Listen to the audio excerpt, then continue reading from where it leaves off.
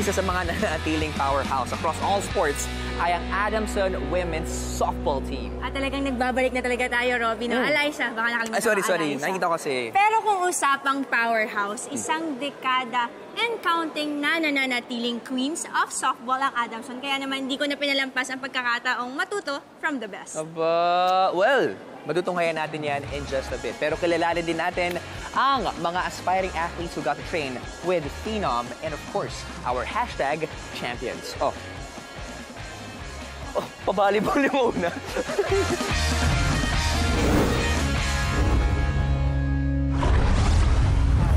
Zamorano, it's all over! It's a storybook ending for Basa, putting in the final out and preserving this nine-run lead for Adamson to bring home the 18th championship in school history.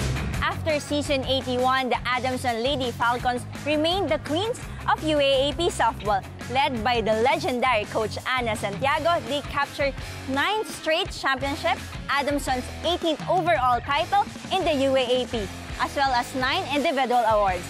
Talk about total domination. And right now, we're here at Adamson University to meet and see the champions at play.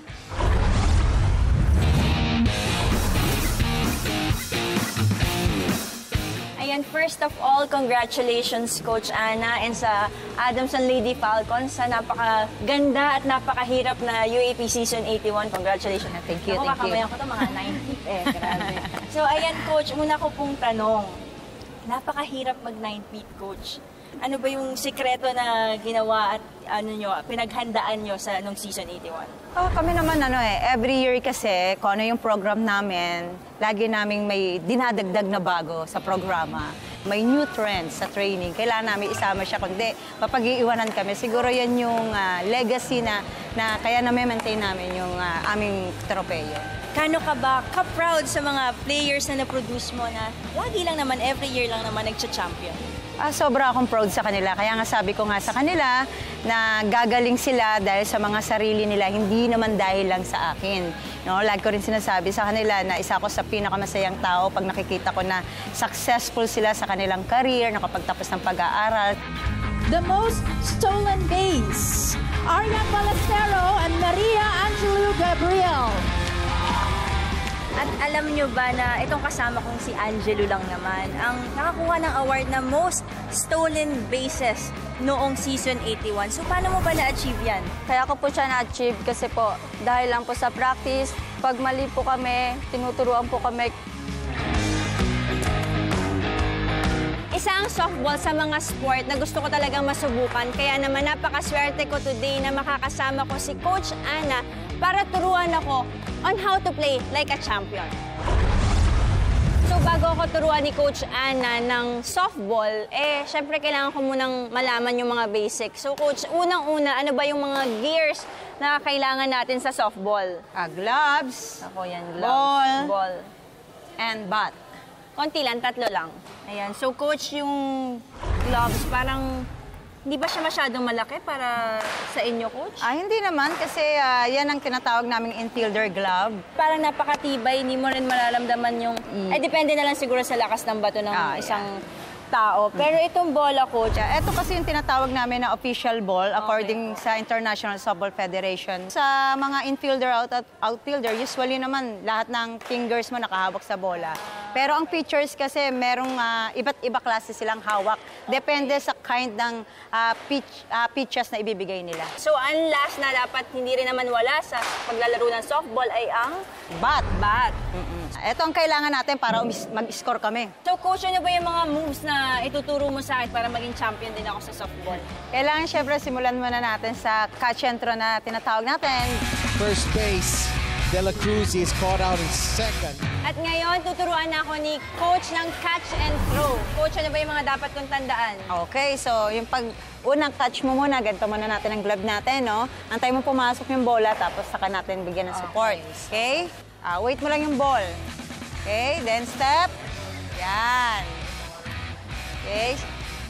Up! Ah! Ito lang. Part yan, part. Error. Oh my gosh! Ang hirap pala saluhin! Open mo yung glove, open. Then, yan. Step, throw. Okay? Go! Alam mo, hindi pala madaling mag catch and throw kasi kailangan kontrolado mo din yung sa gloves. That's a high pitch ball that's taken deep left field.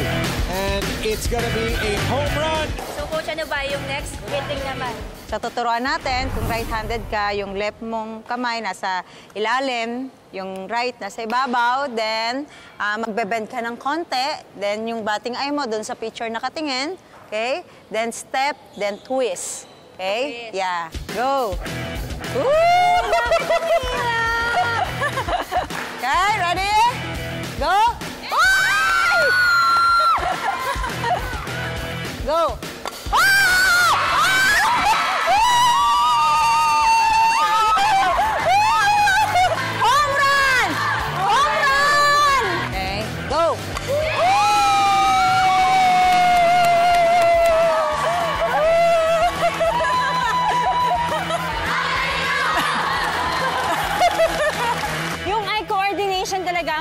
Crucial sa pagdating sa hitting. Medyo mahirap talaga. Yung last natin ay ang heart and soul ng softball, ang pitching. Pero paulit-ulit na doon dinadala yung mga palo. Wow! Pasa! It's all over. So, eto ang pinaka-basic.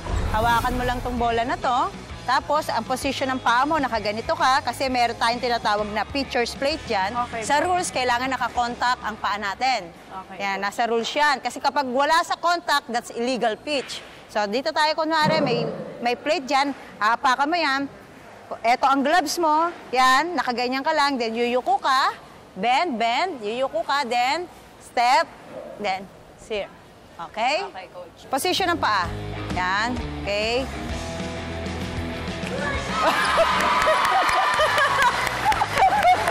Strike! Strike!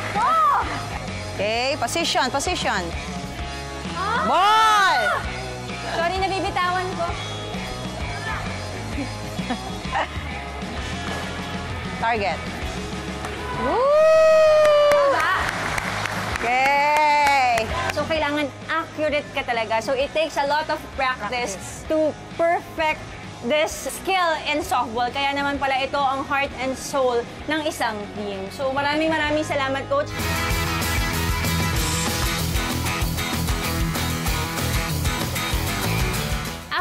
Maturuan ni Coach Anya, nakita ko talaga kung gaano ka-effective yung system niya sa pagtitraining, lalong-lalo na sa kanyang high school team. Kasama ko nga ngayon si Angel at saka si Madeline na senior high school na and syempre under Coach Ana. Malalakas at mabibilis tumakbo tong mga to. Pero ang una kong tanong, bakit niyo ba napili ang softball as your sport? Na- Napili ko po yung softball kasi po um, parang masaya po siya tapos challenging po siya para sa akin. Ay, ikaw naman. Ano po, um, parang dito ko po nakita na mas aangat po ako sa paglalaro ng softball. Kaya naman talaga, napaka-inspired maglaro ng mga taga-Adamson at mga batang to. Meron talaga silang pinanghuhugutan at may kinukuha na sila ng inspirasyon para maglaro ng maganda at syempre laging mag-champion. So, at dahil na-meet ko na ang mga future stars ng Adamson softball teams, I think it's time for me to try lahat ng mga natutunan ko kay Coach Ana. Kaya tara guys, samahan niyo ako mag-training with them. Ready na ba kayo? Ready na po.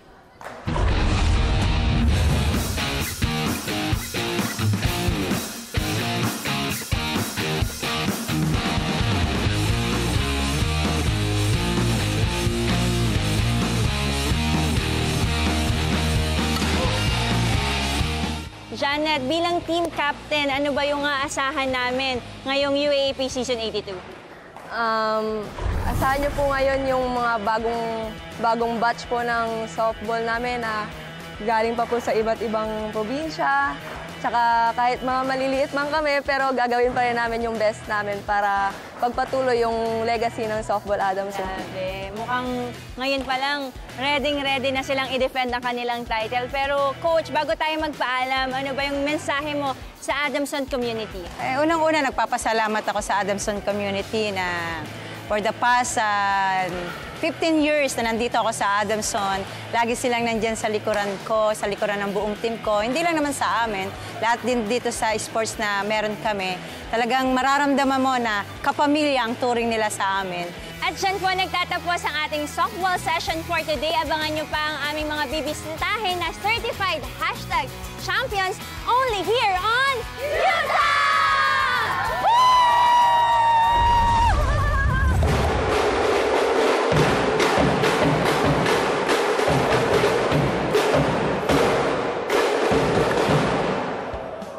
Maraming maraming salamat sa lahat ng mga classmates natin dito sa Adamson University. And of course, to the lifelong Falcons who continue to soar high on and off the court. At next week, babalik kami sa U-Belt para kilalanin ang Red Warriors sa pag-ikat natin sa University of the East. Magkita-kita tayo muli mga kapamilya as we showcase each university's legacy here on UTEL!